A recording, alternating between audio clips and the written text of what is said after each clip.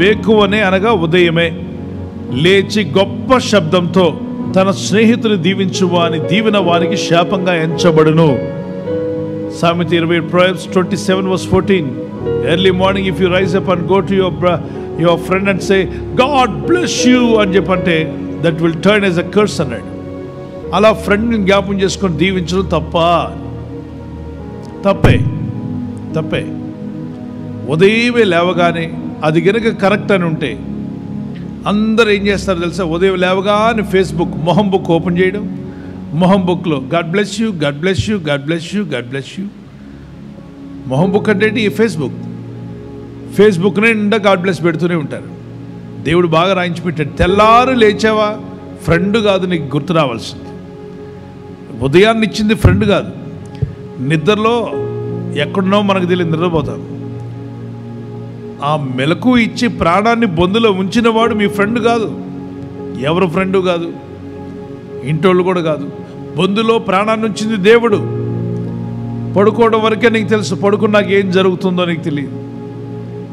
ఆ మా దేవుడు జ్ఞానం కృపగల దేవుడు దయగల దేవుడు నిన్ను లేపితే నువ్వు లేచావు. లేపింది ఎవరు దేవుడు? రాత్రుల్లో నీ ప్రాణం పోకుండా బొందులో ప్రాణం ఉంచింది ఎవరు దేవుడు? శ్వాస ఆడేలా చేసింది ఎవరు దేవుడు? గుండె ఆగిపోకుండా చూసుకుంది ఎవరు దేవుడు? కళ్ళు నిద్రపోతాయి చెవులు నిద్రపోతాయి ముక్కు నిద్రపోతుంది నోరు నిద్రపోతుంది చేతులు కూడా నిద్రపోతాయి. కాబట్టి హార్ట్ కూడా ప్రభు అందరూ నిద్రపోతున్నారు. నేను కూడా నిద్రపోతాను నాయనా అందనుకోండి అంతే శాశ్వత నిద్ర. తల్లి గర్భంలో స్టార్ట్ అయిన ఈ గుండె lub dub lub dub lub dub అని జీవితకాలం అంతా కొట్టుకుంటూనే ఉండాలి. చాలామంది గుండె మీద కనికరం లేకుండా ఉంటారు. గుండె విషయంలో మనం కనికరం కలిగి దానికి ఇష్టమైన ఫుడ్డే తినాలి. ఏది పడుతుంది నవలు కూడా కంకర మిషన్లాగా అన్ని రకాల ఫుడ్లు నవలేస్తూ ఉంటాం.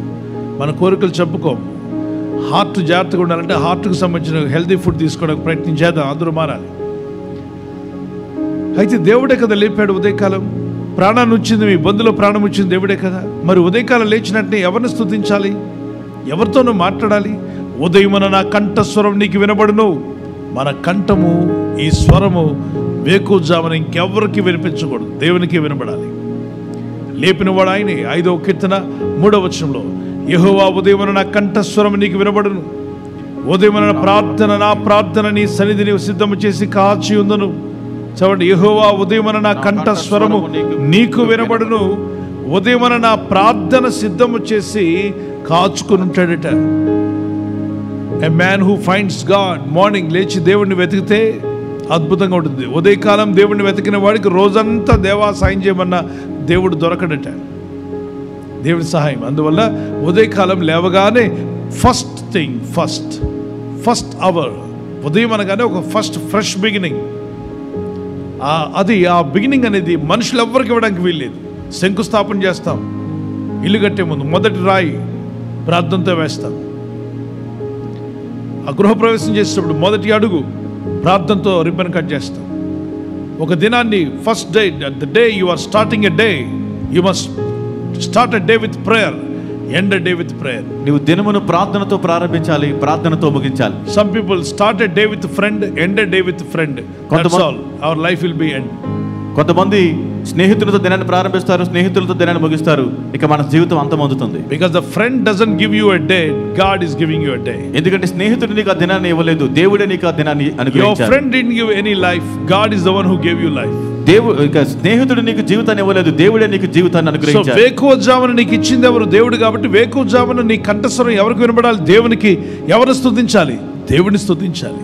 లేచిన వెంటనే దేవానికి స్తోత్రం స్తోత్రం స్తోత్రం ఈ రోజున ఇచ్చినందుకు thank you Jesus for this day అని స్తుతించాలి తొంభై తొమ్మిదేళ్ళు బతికిన ఒక వృద్ధురాల దగ్గరికి ఒక జర్నలిస్ట్ వెళ్ళి అడిగాడు అమ్మ ఏంటి నీ రహస్యం? ఏం చేస్తావు? ఉదయకాలం ఏం తింటావు? అంటే మీరందరూ తిన్నదే నేను తింటున్నా అని చెప్పింది. అయినా మరి నువ్వు మాట్లాడగలుగుతున్నావు కూర్చోగలుగుతున్నావు చెవులు వినబడుతున్నాయి. ఇంత నీ రహస్యం ఏంటో చెప్పమ్మా. అసలు ఏం చేస్తావు? అసలు ఎలా ప్రారంభిస్తావు దినాన్ని? అంటే ఆమె సింపుల్గా చెప్పింది. అలా మెలకు రాగానే మొట్టమొదటిగా నేను ఆయన్ని పిలుస్తాను అని ఎవరండి? మీ ఆయన అంటే మా ఆయన ఎప్పుడో పోయాడు అని చెప్పింది. మరి ఎవరిని పిలుస్తావమ్మా? అని చెప్పంటే నా ప్రభుని పిలుస్తాను. ఎవరిని పిలుస్తామండి thank you lord for this day thank you lord for this day దినమును బట్టి దేవా దినమును బట్టి నీకు స్తోత్రం. Give me one more day మరొక దినము నాకు Lord, అనుగ్రహించు I thank you so much for this day. Give me one more day. ఈ దినమును ఇచ్చినందుకు నీకు స్తోత్రం. మరొక దినాన్ని నా జీవితంలో దయచేయము. One more day. I'm not asking so many days, but give me one more day in my life. నా జీవితంలో ఒకే ఒక దినం మరొక దినం ఇవ్వు ప్రభా ఎక్కువ దినాలు అడగలేదు ఒక్క దినం Thank you మాత్రమే for ఇవ్వు. this day. ఈ రోజును బట్టి నేను స్తుతిస్తున్నాను Give me one more day. మరొక రోజు నాకు ఇవ్వండి She told, That is my secret. Every day morning, I'll praise God, I'll worship God. ప్రతిరోజు ఉదయకాలం ఆ విధంగా దేవుని స్తుతిస్తాను ప్రార్థిస్తే ఆరాధిస్తాను Then I'll ask God, Give me one more day in my life. నా జీవితంలో మరొక దినాన్ని ఇవ్వండి ప్రభు అని అడుగుతాను In that way, she got 99, ye- 99 years.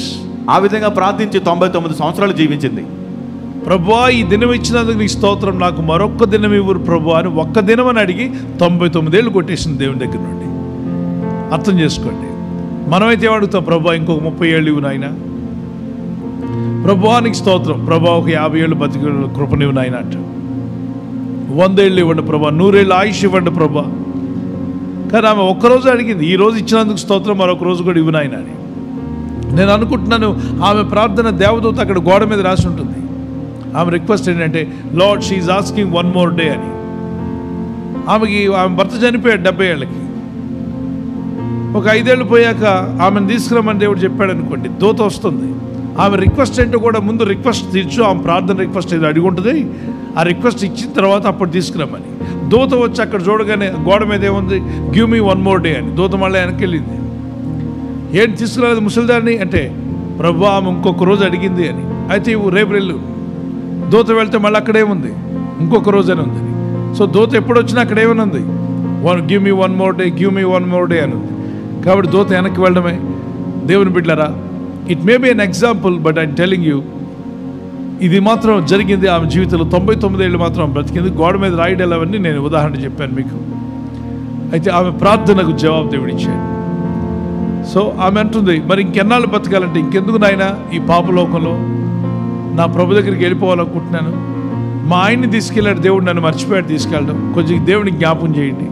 మీ ప్రార్థనలో నా- గురించి జ్ఞాపం చేసుకుని ఏమనంటే ప్రభా వాళ్ళ ఆయన వెళ్ళిపోయేటట్టు ఈమె కూడా వెళ్ళాలంటే త్వరగా పంపించు నాయన అని ప్రార్థన చేయమంటుంది ఆవిడ.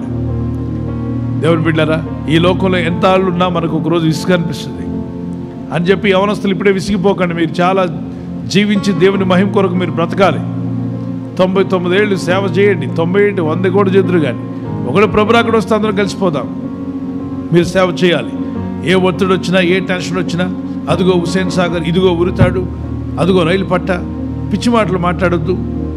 అటువంటి ఆలోచనలు రానివద్దు. నేను చస్తా నేను చస్తా అని మాటలు అనకూడదు. ఆ మాట అన్నారంటే దురాత్మ వాసనలు బట్టి వస్తుంది. మీరు పిల్లిని పిలవకుండానే చేపలకు వస్తుంటే పిల్లులు వచ్చేస్తాయి పక్కే వీధిలో నుండి. ఎలా వచ్చాయంటే వాటికి వెల్కమ్ చెప్పనక్కర్లా ఇన్విటేషన్ కార్డు ఇవ్వనక్కర్లా. చేప వాసన చూసి వచ్చాయి. అలాగే దెయ్యాలు మీ మాట వాసన బట్టి వచ్చేస్తాయి. నేను చస్తా నేను ఆత్మహత్య చేసుకుంటే బాగుండే ఇలాంటి పిచ్చి మాటలు మాట్లాడుతుంటే దెయ్యాలు అనుకుంటాయంటే ఈరోజు ఎవరు మనకు దొరకలేదే అని. సడన్గా పిల్ల దెయ్యం వింటుంది. అదిగోవే మన టికెట్ మాట్లాడుతుంది ఆ పక్కన. ఇప్పుడే విన్నాను నేను సస్తే బాగుండని చెప్పింది ఆ వంటగదిలో పరిగెత్తుకుని వస్తాయి దురాత్మ. ఆ వ్యక్తి దేహంలో ప్రవేశిస్తాయి ఇంకా అక్కడ నుండి ఆమె ఏ న్యూస్ పేపర్ తీసినా మంచి విషయాలు గుర్తురావు పోయిన వాళ్ళే గుర్తొస్తుంటారు వాళ్ళు అలా పోయారు వీరు ఇలా ఆత్మహత్య చేసుకున్నారని దాని గురించి ఆలోచించి అలా చనిపోతే అప్పుడు మా ఇంటి వాళ్ళందరికీ బుద్ధి చెప్తారు ఊరు వాళ్ళందరూ అప్పుడు నేను చనిపోయాను తెలుసుకుంటే పేపర్లో వాళ్ళు ఊహించుకుంటారు అవన్నీ అందరూ కూడా నేను కుక్క పిల్లవ అలా అనిపించుకోవడానికి చొచ్చు చొచ్చో చొచ్చో చొచ్చో అనడానికి కోసం నీ ప్రాణాన్ని తగలెడతావా నిండు జీవితాన్ని నాశనం చేస్తావా? ఊరందరూ అంట అది కుక్క పిల్లలు అంటారు నువ్వు దేవుని బిడ్డవి. కాబట్టి ఎవరో చొచ్చో చొచ్చో అంటారని సానుభూతి కొరకు చావకండి. సానుభూతి కొరకు చనిపోయేవారు. అది ఎవరు ఏమన్నా చావకూడదు. చావు అని చెప్పినా నువ్వు చావు నేను చావనని చెప్పాలి. నీకు అంత అర్జెంట్ అయితే నువ్వు పోతావేమో కానీ నేను నేను క్రీస్తు కొరకు జీవిస్తాను. నేను బ్రతుకుంట క్రీస్తే అని చెప్పాలి. అంత ధైర్యంగా మీరు మాట్లాడి దేవుని కనపరచాలి. దేవుని కృప మీకు తోడే ఉండను గాక ఆమెన్ గాడ్ బ్లెస్ యూ